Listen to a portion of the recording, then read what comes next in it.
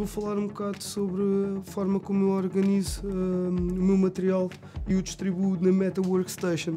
Este é, o, este é o gavetão maior da estação, é onde opto por pôr também os uh, itens uh, de maior dimensão, onde posso arrumar as minhas agulhas, as minhas luvas, os produtos desinfetantes. Brutal é que a configuração pode ser mudada e ajustada exatamente como mais gostamos. Depois tem aqui três gavetas principais onde podemos dividir o resto do nosso material, também com o mesmo tipo de secções. Estas peças saem muito facilmente e podemos reorganizar tudo novamente como mais queremos. É brutal para pôrmos os nossos cremes, os campos cirúrgicos, as nossas máquinas de tatuar, enfim, todo o material que nós precisamos para tatuar.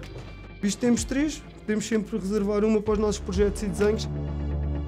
Esta gaveta do topo, eu prefiro escolher para o material uh, que tenho de organizar primeiramente.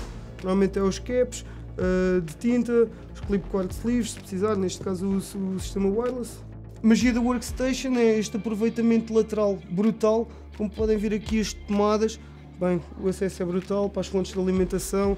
Temos aqui estas gavetinhas brutais, onde podemos organizar a nossa tintinha toda e ter uma visão sobre as tintas. No outro lado está uma exatamente igual, onde dá para colocar uma vasta gama de cores. Sem dúvida o espaço não é reduzido todo.